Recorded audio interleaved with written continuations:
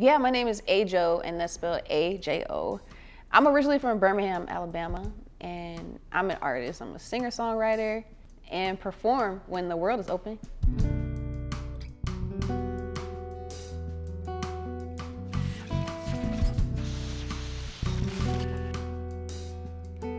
Inspiration is, it's a hard question to answer because there's so many and different ones for different eras of my life. But TLC's Crazy Sexy Cool album is like my source code. I'm, I'm a fiend for SoundCloud. I love digging around SoundCloud and just listening to the unknowns, to new sounds, people who are really doing something different. The indie artists out here like me and other folks on SoundCloud, you, um, you're more adventurous with music, I think.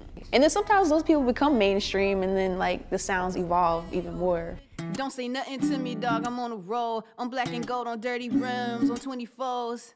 And I'm on your necks if you didn't know. The only instrument I play uh, somewhat proficiently is guitar. I have love for Fender because that was my very first guitar. I have it more as a memento now. Um, and my current gu guitar is in Ibanez Talman. So I mean, that one's holding me down. The acoustic does bring something different to the music. It, it just feels more grounded and like organic when I'm playing an acoustic guitar. And the acoustic you can bring into any environment also. So, I mean, I like that being a staple of my performance that I can walk in, I can play live with an instrument without anyone else. And I also have the option to play with a backing track. Or we could plug in and give you a different feel that way.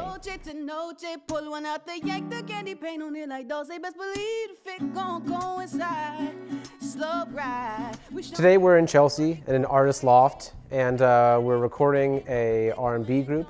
What I'm trying to get is a really close proximity microphone sound, I'm trying to get a lot of intimacy, a lot of detail in all the sounds that I'm recording. I'm trying to get a drum set that sounds very full, very up in your face. Same with that vocal sound. I'm going to get a few different guitar sounds, both from the acoustic body as well as I'm going to be miking the uh, amplifier itself.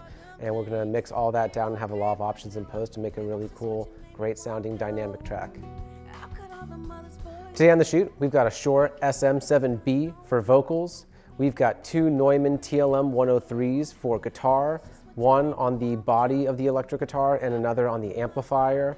We've got, uh, for our drum set, a Audix D6 on the kick drum. We've got a Shure SM57 on the snare drum, a Shure SM81 on the hi-hat. For any extra shaker sounds that we might have, we've got a Rode TF5 microphone. And on the bass, we've got a Radial J48 Active DI box. I think that the Shure SM57, if I had to take five things with me on a desert island, might be one of them. It's good for just about everything, and it's gonna give us a really classic snare drum sound, uh, dynamic cardioid pickup pattern. Uh, can't possibly go wrong with it.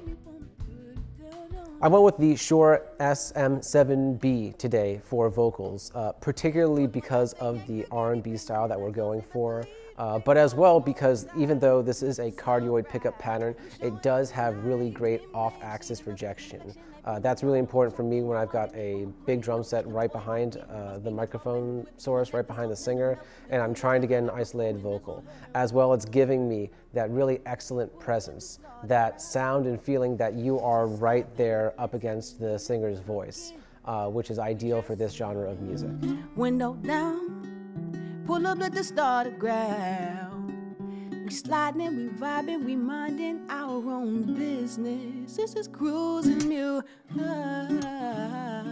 I love cruising music. I know it's my song, but sometimes you have songs that you, you are more excited about than others.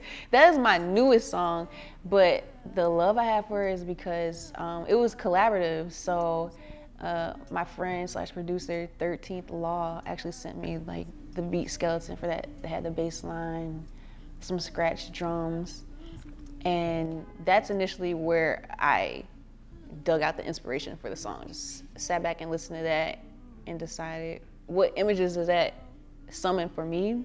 It just immediately made me think of like Bun B and like Southern hip hop, just like driving slow, like, you know, just like serving looks like from your car type of vibe.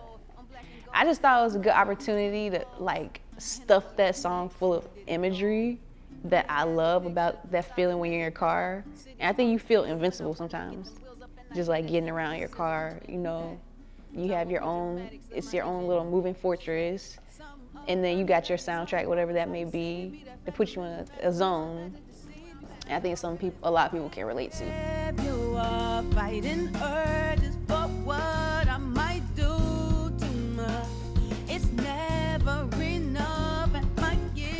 Doing Too Much is a song, I feel like I want five more songs like Doing Too Much. Like, I love the vibe of that song. I actually found it, uh, the producer on this app called Voisey originally, which is an app where producers can like upload beat snippets and singers can just sing to them. Um, which was like, that's the first time I've ever come across a beat in that fashion. So I thought that was very 2021 of me to do. And uh, sometimes I just try to amuse myself with my lyrics too. I just think the idea of like, you know, whatever you did, you messed up. And like, you know, Bae's not messing with you right now. And then you're just like, I'll do whatever to get him back. That's kind of the idea. So it's a little like not taking yourself too seriously. You know, you might be groveling or whatever, and it's just like you don't care. You don't have any shame. you don't have any shame about it. So I think that's funny. You me wanna come through, quarter after two, just to put it down on you. You me wanna replay We chose to cover "Come Through" by Summer Walker. Uh, number one, she's dope. She's another girl on guitar, and I feel like she just has a really distinctive approach to R&B. And because it's also like, I, I think that's the Usher song "You Make Me Wanna" came out either early 2000s, or around that period. But basically like throwback R&B, which I love. I'm a huge fan of. So it just it was like best of both worlds, contemporary R&B and a little bit older R&B together. So, I mean, I just hope we did the cover justice. we had fun playing it. You made me wanna put it down on you. You made me wanna put it down on you. You made me wanna put it down, down, down, down. Me. Follow me at Night Owl Social Club on Instagram, and my music is available on all streaming platforms. You can get through it directly through the description under this video. So click and read through that and keep up with me.